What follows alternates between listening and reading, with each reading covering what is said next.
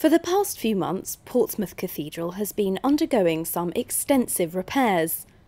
As well as structural works to walls and roofing, a more decorative but no less important element of the church is getting a revamp. The cathedral's weather vane, known as the Golden Barque, has sat atop the cupola for more than 300 years, becoming a welcome sight for homecoming Portsmouth ships. The barque is, is one of these symbols, I think, of, of the city of Portsmouth. I mean, the cathedral's been here you know, 800 years. Um, and the barque itself uh, has been you know, there over 300 years, about 1710 or so. And it was one of these symbols that you know, uh, sailors and mariners coming into the city would have seen. And I think today, uh, you know, people especially who come and visit Old Portsmouth, they, they see that ship. And um, it's just so nice to see it being restored again and, and hopefully putting another lease of uh, life and service for many years to come for people to enjoy. A landmark to mariners and residents of the port city. Over the years, the Golden Barque has gained an almost mythical status. Legend has it that when the old barque was brought down for repairs, mothers from around the city would gather and place their babies inside it.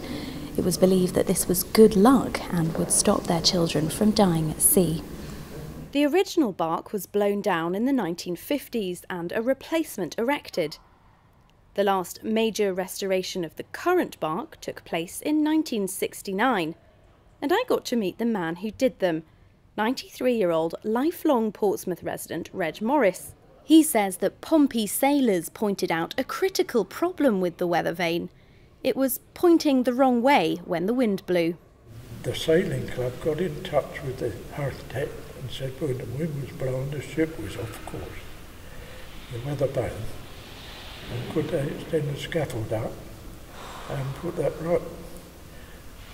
Well, the scaffold was extended, and now it was chosen to go out there and see what problem was. And it was a simple thing that the flag had got blown just off straight. And uh, took about two minutes to put that right. But I told Mr. Makins that I would have to strut it up to stop it from happening again once we took scaffold down. And that's what, how it all came about. And then when I got to hear what was being brought right down in the cathedral, I was rather anxious right in and see if the struts that I put on 47 years ago were still there. If I hadn't done that, all the ships would have been piled up, piling up our, up our, all on top of one another. so I did something right. Reg's repairs have survived Portsmouth winds until this day and will continue to be a part of the reinforced and newly regilded barque. You know, it's so different standing up there with, um, working on it and knowing that it seems a beautiful thing now. And I'm just as glad to see that what I did is still there. Didn't need altering at all. The Golden Barque will go back onto the cupola for residents and sailors to enjoy once again when repairs to the cathedral are complete in early 2016. Charlotte Briere-Edney, that's Solent.